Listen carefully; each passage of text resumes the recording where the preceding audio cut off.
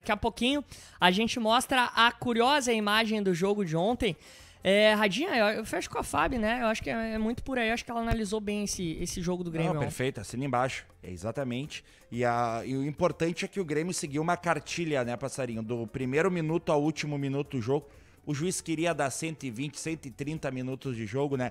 Mas do primeiro ao último minuto da partida, o Grêmio seguiu uma cartilha e foi até o final e teve sucesso nessa estratégia. Eu falo isso porque no primeiro confronto da Copa do Brasil, a derrota na Arena, o Grêmio começou a cartilha muito bem e aí por ter um jogador a mais, por estar tá vivendo um momento melhor na partida, o Grêmio se emocionou e foi para cima do Flamengo. Com isso, possibilitou o contra-ataque e a transição ofensiva da equipe carioca. E o Flamengo machucou demais o Grêmio e fez o placar que fez.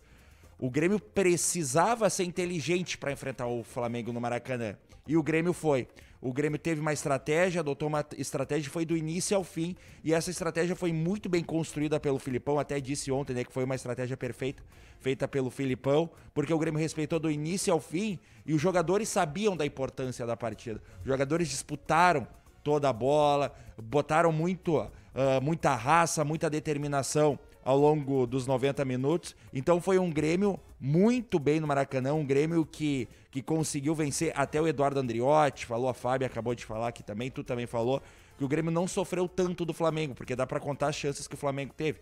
Teve aquela finalização do Vitinho no primeiro tempo, a cabeçada do Léo Pereira que o Chapecó defendeu. É. Mas foi uma equipe que, que, o, que acabou não conseguindo né, entrar no sistema defensivo do Grêmio, porque o Grêmio fez uma partida muito sólida defensivamente. E aí vai a crítica ao Leonardo Radaeli. Oh. Eu critiquei muito o Rui Rodrigues, né? Mas juntos eles estão crescendo.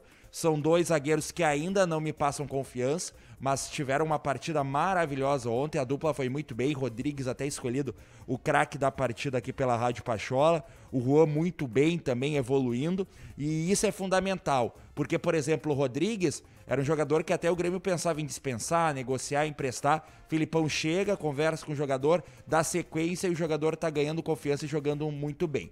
Tem que continuar assim, muito com, com a experiência, né? Tem que escutar muito o Filipão, porque o Filipão é um cara que pode agregar muito para essa dupla de zaga. Então, ontem, né, a dupla de zaga do Grêmio foi impecável, foi maravilhosa.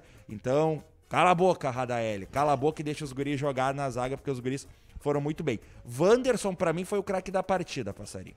Boa. Até ontem de noite revi mais uma vez a partida. Ontem tava feliz demais com a vitória do Grêmio e tava passando num canal fechado o VT do jogo. Eu parei para assistir novamente. Pô, se eu assisto o VT de derrota, imagina de vitória, né, passarinho? Oh. Assisti ontem de novo e o que o Wanderson jogou absurdo. O que o Wanderson tá jogando, e pô, ali do lado do Wanderson caiu o Michael, caiu o Bruno Henrique na segunda etapa. E o Wanderson muito bem, com muito ímpeto, com muita determinação tática. É um cara que tá defendendo bem, é um cara que na transição ofensiva tá sendo um escape do Grêmio, porque em muitos momentos o Alisson não tem a força que o Wanderson tem para atacar, para ser agudo. Então, em muitos momentos, o Alisson fecha e deixa o Wanderson ir.